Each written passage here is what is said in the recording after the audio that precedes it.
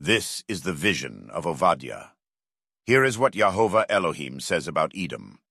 As a messenger was being sent among the nations, saying, Come on, let's attack her, we heard a message from Yahovah. I am making you the least of all nations. You will be beneath contempt. Your proud heart has deceived you.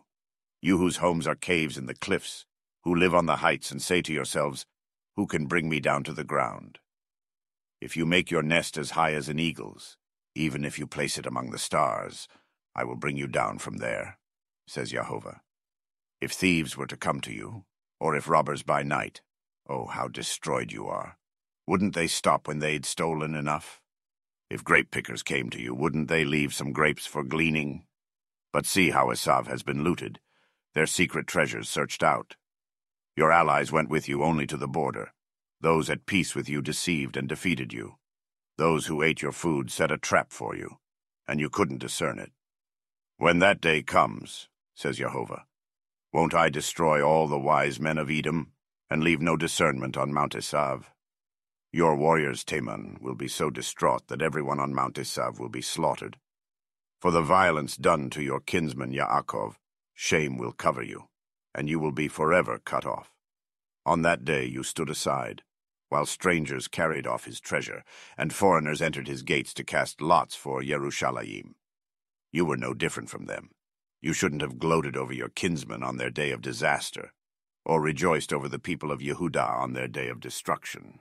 You shouldn't have spoken arrogantly on a day of trouble, or entered the gate of my people on their day of calamity. No, you shouldn't have gloated over their suffering on their day of calamity, or laid hands on their treasure on their day of calamity. You shouldn't have stood at the crossroads to cut down their fugitives or handed over their survivors on a day of trouble. For the day of Yahovah is near for all nations. As you did, it will be done to you. Your dealings will come back on your own head. For just as you have drunk on my holy mountain, so will all the nations drink in turn. Yes, they will drink and gulp it down and be as if they had never existed. But on Mount Zion there will be a holy remnant who will escape and the house of Yaakov will repossess their rightful inheritance. The house of Yaakov will be a fire, and the house of Joseph a flame, setting aflame and consuming the stubble which is the house of Esav. None of the house of Esav will remain, for Yahovah has spoken. Those in the Negev will repossess the mountain of Esav, and those in the Shephelah, the land of the Plishtim. They will repossess the field of Ephraim and the field of Shomron, and Benjamin will occupy Gilad.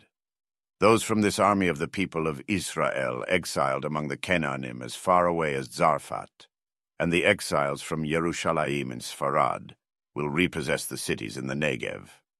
Then the victorious will ascend Mount Zion to rule over Mount Esav, but the kingship will belong to Yahovah.